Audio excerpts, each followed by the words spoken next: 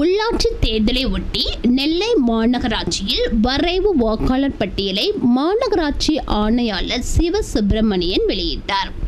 நெல்லை மாநகராட்சியில் ஐம்பத்தி ஐந்து வார்டுகள் உள்ளன.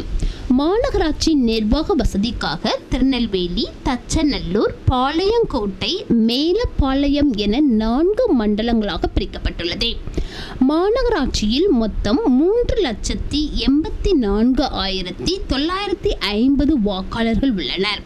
தற்போது வெளியிடப்பட்டுள்ள வரைவு வாக்காளர் பட்டியல் சட்டமன்ற தேர்தலில் பொதுமக்கள் வாக்களித்த வாக்குச்சாவடி மையங்களில் பார்வைக்காக வைக்கப்படும் என்று ஆணையாளர் தெரிவித்துள்ளார்.